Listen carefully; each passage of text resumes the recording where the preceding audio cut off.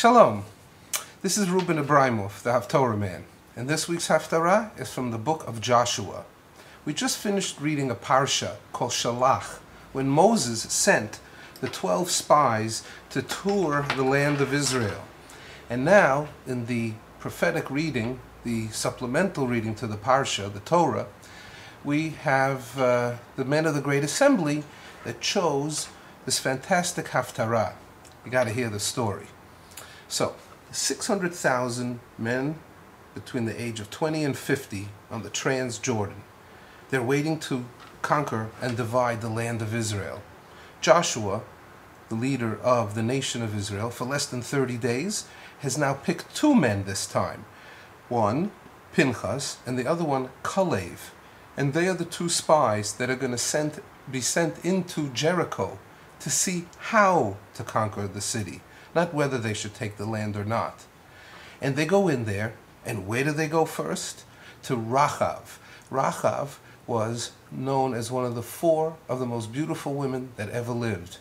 By the way, she was also a prostitute, or she had an inn where people would come and eat food, and naturally they would hear all the goings on around the country, what's happening. So the Israelites would be able to come and conquer the land of Israel with this information.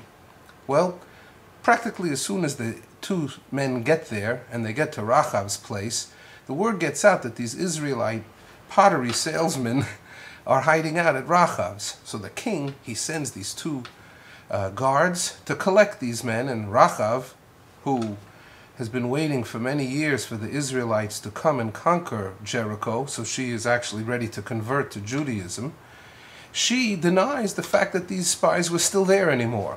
She says they ran for the hills, and you as well should run for the hills, and the gates of the city close. She takes these two men and she hides them up on her rooftop so that no one should find them. And she tells them to wait there, and then she sends them on their way. But before they leave, she says, Listen, I saved your life, now you must save mine.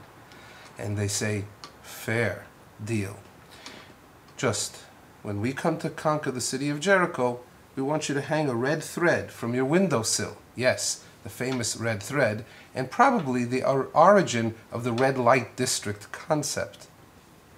So now, Rachav, her mother, her father, and her family are all in this house um, when the Israelites come several chapters later in this Haftarah. So the men, these two spies, leave Rachav's house, sliding out the window, down the rope, and they run for the hills where they are instructed by Rachav to wait there for three days till the coast is clear. And they return to Joshua, and they explain everything that happened to them, and this is the story of this week's Haftarah.